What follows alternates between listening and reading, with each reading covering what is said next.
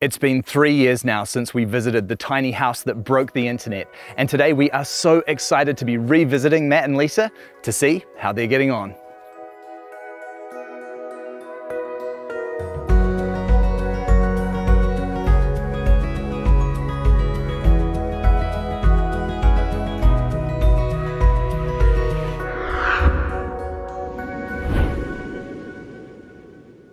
Hey Lisa, how are you? Hey. Bryce. Lovely to see you. It's lovely to see you. G'day Matt, how you doing mate? I'm great. How are you? Very well, thank you. It's just so nice to see you both again. Yeah, Yeah. It's great to have you back. And the place is looking absolutely fantastic. Thank you. Thanks. It's hard to believe that it has already been three years since we were last here. Yeah, Doesn't pushing it fly? four. Yeah, yeah. Changed a little bit since you were here last. Yeah, it's definitely changed a lot since we were here last. I see you've completely changed this undercover area. Yeah, this has been an asset to us, definitely through the windy months and the rainy months. You know, so the shade sails didn't um didn't, didn't uh, fare up. too well. Oh, really? What happened to the shade sails? Uh, it turns out living in a cliff, um, there's a lot of wind, and yeah, it just ripped them down, opened up chain links, disaster. Two o'clock So, in the morning. Yeah. Wasn't good. No. Oh, no. Yes. I can definitely see that it's more secure than the sails, and I think it looks really good. Yeah, we tried to not have the whole thing covered just so we could have a little bit of broken light and that kind of thing as well. But it's just a little bit nicer to have a little bit of a landing area. If it's raining for a few days in a row, you know, anyone who lives in a tiny house will tell you that. It's pretty frustrating walking all your mud straight into the house. So, Definitely. yeah. And because you have got such a nice deck area as well, it must actually just in general make the space a lot more usable. Mm. 100%. I work from home now, so I'm out here all the time working as opposed to sitting inside if it's a nice day. So you're working from home now because you were studying last time we met. Yeah, I was studying full time back then. I was also working full time, but I changed positions in the company I work for, and now I work from home a couple of days a week, going to the office a couple of days a week, and it's nice to just be here out on the deck on a nice day. Oh, yeah. What an amazing place to work. Yeah, it's pretty awesome. And you've got the barbecue out here as well, so it's nice to have a bit more space to cook and eat undercover. Yeah, yeah, it is nice when we have people over. Hmm. You know, we've we've got the bar area as well, so we can all sit up and we can have the barbecue going. A lot more bench space. And I see you've done quite a bit of planting and landscaping since we were here last as well.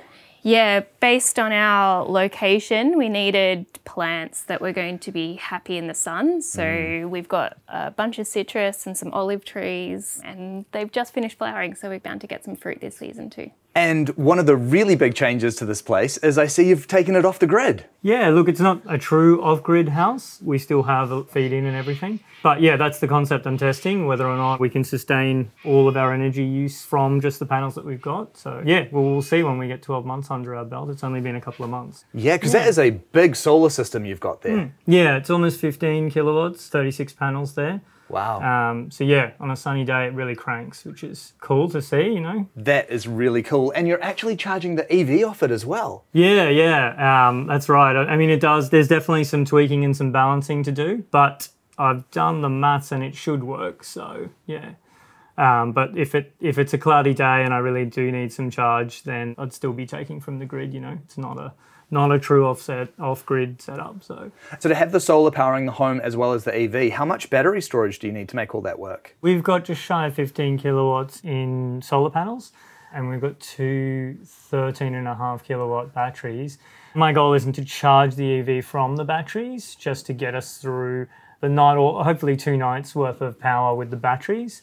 And then, um, obviously, because you don't charge the EV every day, there's still, you know, an aspect of timing there. Sort of obviously try and collect as much overflow power as you can and store that in the EV, you know. That's a great way of doing it.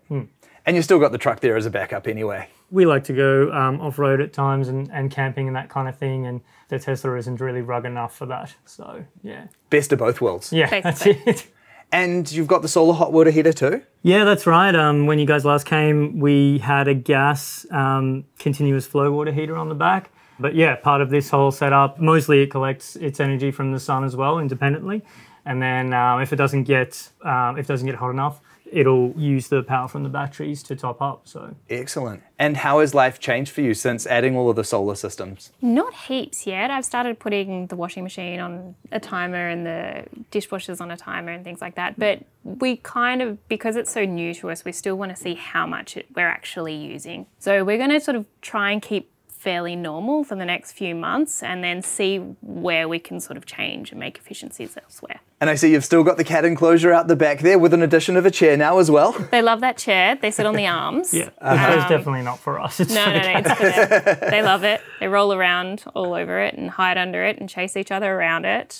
But it's um, they like it. Something dry that they can sleep on and claw instead of the furniture inside. Uh, not long after you guys left last time, um, we a, a tree branch fell down as well. so no. um, it kind of did get a bit squashed, but it seemed to bounce back okay. You know, you can definitely see where it landed, but still It fared well. there. So yeah, Surprisingly fared well. yeah, And I see you've got the addition of a new puppy as well. Yes, that's Yes. Gus. Apple of her eye. yeah, they don't get along um, particularly well, but the cats no. have claimed the top floor and. They've just got a dart pass to get out from under the couch. So It's, we're working through it though. yeah, yeah, Fair he's enough. doing pretty well. He's a big dog for a tiny house. He is a big dog for a tiny house. He was uh, rescued. He was very small when we got him, and he didn't stop growing.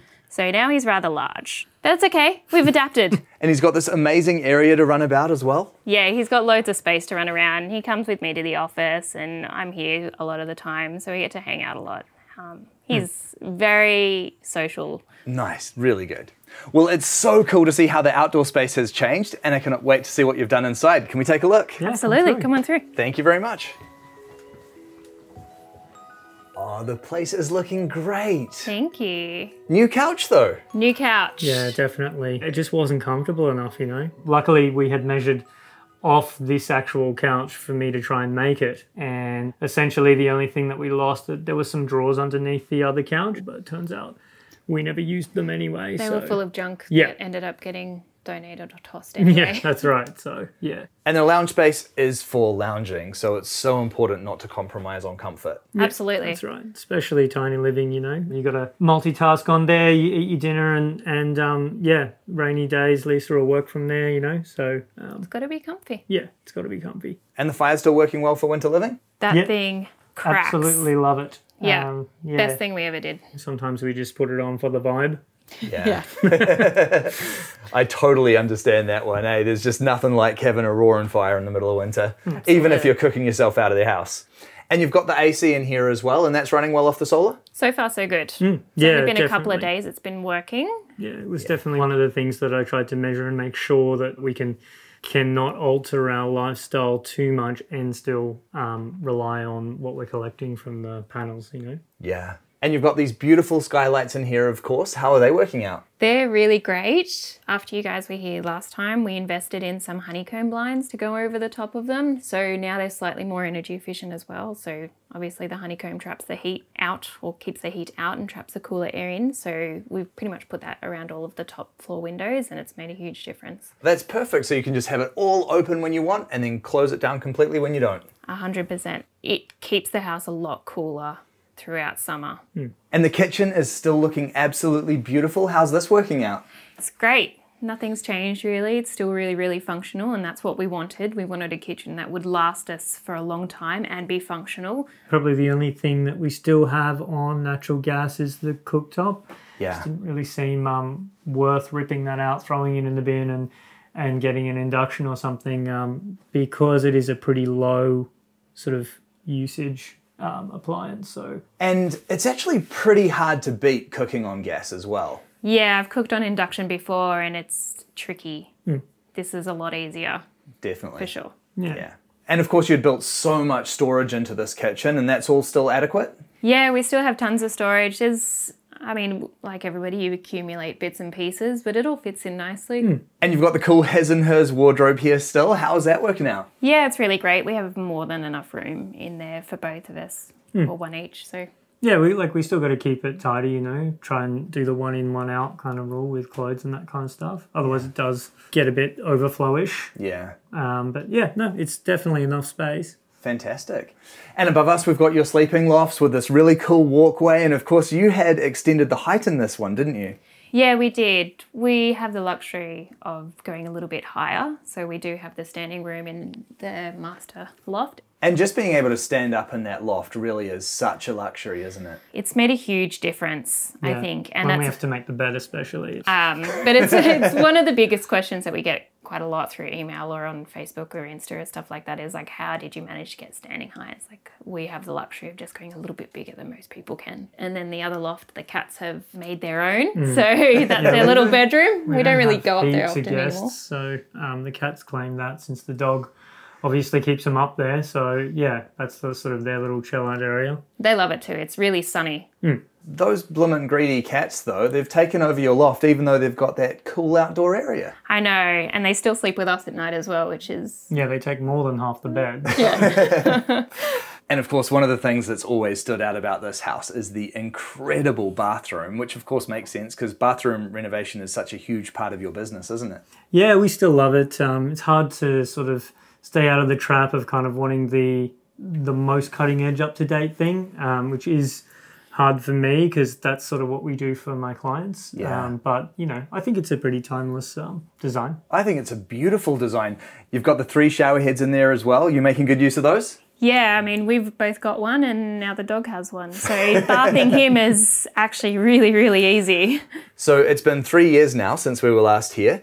Is tiny house living still working out for you? Yeah, 100%. We Yeah, still we love love living here. Yeah. Since we've had a lot of rain recently, it's made it a little bit harder. I think we tend to get a little bit of cabin fever, Hmm. particularly after days and days and days of rain. Probably I wouldn't be able to work from here at the same time as No, Lisa. thanks to COVID, we learnt that we cannot work in the same space together.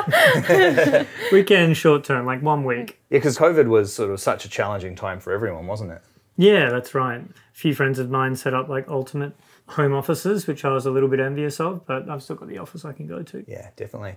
And having lived in the space now for so long, is there anything that you're now looking to change? we did change the couch, and I think that was pretty much the only thing that Hmm. wasn't working to how we wanted. We haven't had any major changes to layout or anything like that. Um, No. So I'm happy with the extra effort I put in to design it and um, and try and think of uh, solutions. You know.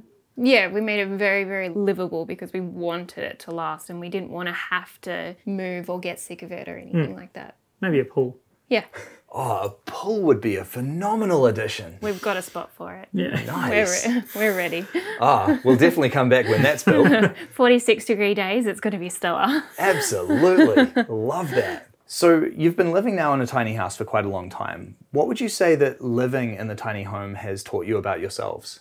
It's like we never lived in another house at all. Yeah, I don't it- consider it a big change in our lifestyle, really. Like No. less stuff, less, mean, less things, but we um, think about the stuff that we purchase now because Mm. we're like, can that fit in the tiny house? And when people will say, oh, what do you want for Christmas or your birthday? We're just like, nothing, it won't fit in the house. Yeah, and they're like, it's a good excuse. Yeah. So I think it just proved the concept, really. You know, I don't know how we'd go if if there was kids and stuff, but with the Mm. pets, I I don't want for a bigger house. You know, It sounds like your pets will take up more space than the kids anyway. the definitely dog's dog. larger than we thought he was going to be, so Yeah. he takes up a fair space. You know, Yeah. the couch. One of the reasons why we did change the couch is because there's a, like a little add-on that we that he sleeps on. That's where he sleeps. Yeah, that's Very right. nice. There's no crates or beds or anything like that. You know, you have to make that. You know, his sleeping arrangements adaptable. Yeah. Coming back to the space as well, it's really nice to know how much of the space is working for you. But it's also nice to know, like with things like with the couch or the shade sails, when things don't work, it is still possible to change them, just like any home. That's right. Um, it does break your heart a little bit ripping apart work that you've already done, but um, you know you can definitely. I guess it makes it worthwhile just to make sure that it is sort of working absolutely how I envisaged. You know, What does having this home mean to you? I definitely um, look forward to sort of coming home, especially in the winter with the fire. You know, nine times out of ten, Lisa's already started that, and because she works from here, so it's just so nice to walk in and just be comfortable and and um, be able to unwind and leave the stress of work uh, where it belongs at work. You know. because of where we are and the uniqueness of the property, it's definitely a bit of an oasis. So when you do come home, you've got all the greenery, and you've got the trees, and you've got a small house, and it's a nice environment to be in. So those stresses do seem to kind of just be left at the top of the driveway or at the office, and you come home and you're like, yeah, take a big deep breath, and it's a lot nicer.